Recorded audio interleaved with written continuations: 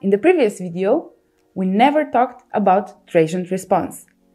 Let me give you a hint. When you wire up a resistor circuit, they don't exhibit this effect. But what about the circuits that contain non-resistor components, such as capacitors and inductors? Let's go take a look. Last time, I front-loaded a bunch of math before doing any measurements. This time, I will go easy on you and start with some experiments. Resistors have resistance measured in ohms. One ohm is practically nothing. Capacitors have capacitance measured in farads. One farad is a lot. Even one millifarad is plenty. The biggest capacitors you'll commonly encounter are usually in the tens or hundreds of microfarads. Inductors have inductance, measured in henries. The unit got its name because inductors used to have an iron core and Henry Cavill played the Man of Steel. If you apply voltage to a passive circuit, leave the room, and come back a while later, capacitors will act as open circuit, while inductors will assume the role of a short circuit. Shortly after the power is applied, however, inductors and capacitors will exhibit a strange behavior. Enough talking. We saw some equations first either way, but now let's make an experiment. Let's wire up a circuit such as voltage divider, but this time replace one resistor with a capacitor.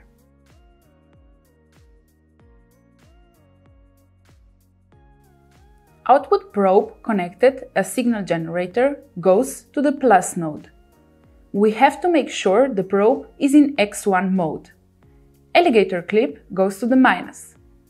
Connect one probe to an input channel to the middle node. No need to connect the alligator clip, but why not? Connect it next to the other one. I've also connected the output signal to the second input channel, so we can clearly see what's going on. You don't have to do it.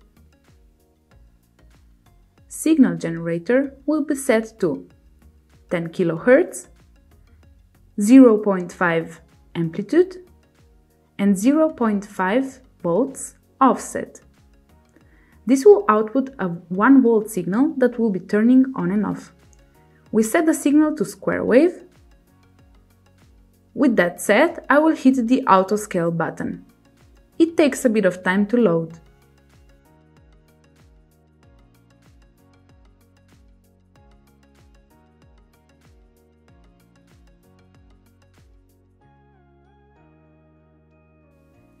Now I will set the triggers in the trigger menu. I will set the value on the second channel. I didn't set the correct attenuation ratio for input 1, remember to do that, and set it to 10.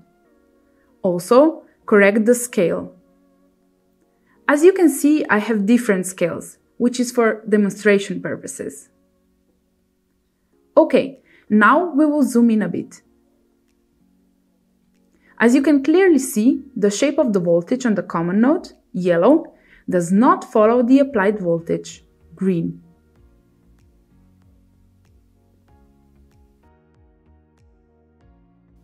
It follows this equation.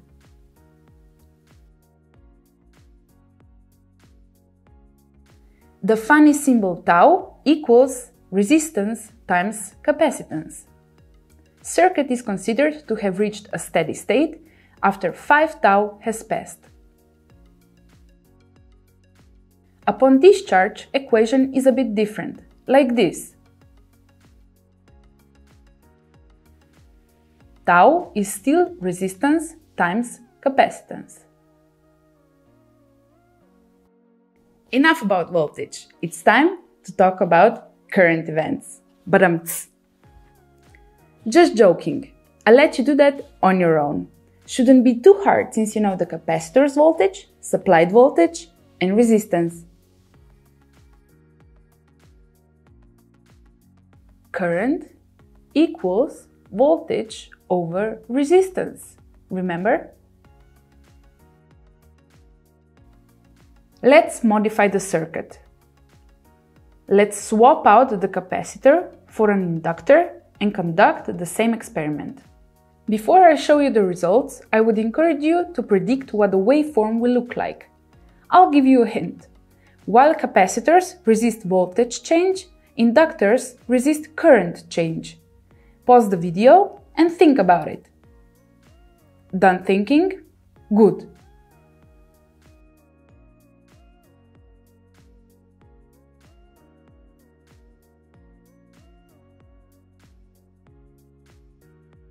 Let's write them down.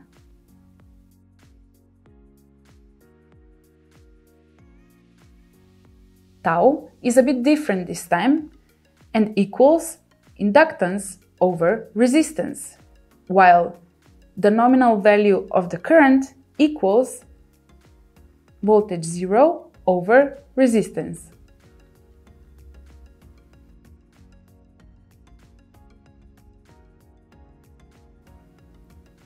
For simplicity's sake, the rest of the video will revolve around RC circuits.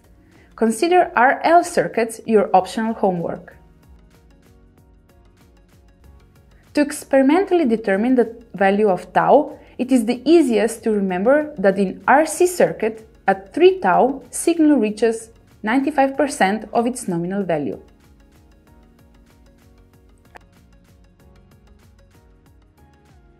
Measurements can be done using cursors. Set one at 95% of signal steady value, which is 0.95 volts in this case.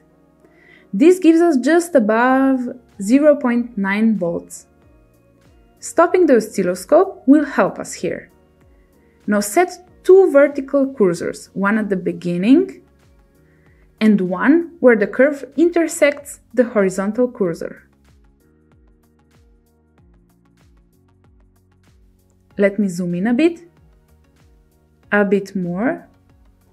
The difference is automatically calculated and its value is 6 microseconds. The components used were a 100 ohm resistor and a 10 nanofarads capacitor. If you're playing along, you will be very skeptical of this claim. I got 3 tau equals 6 microseconds, while it should be 3 microseconds. Blame the probe I used to connect signal generator's output. Its resistance is intentional and helps mitigate signal reflections.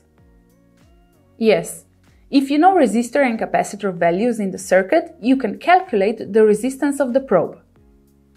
If this sounds like extra steps, that is because it is. One way to solve the problem is to use known capacitor and resistor values and determine applied voltage. Remember that when you will need a cheap battery level indicator in your project.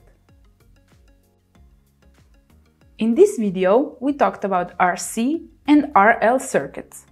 I encourage you to make predictions about what would happen if we swap positions of R and C to make a CR circuit. What if we did the same with RL to make an LR? What if we made an LC circuit? Seriously, make your predictions and try them out. I bet you will be wrong on LC. So, did I answer the question? What about if you excite the circuit with something other than a square wave? A sine wave, for example. Try it yourself and let us know what happens in the comments. In the meantime, like, share, and subscribe.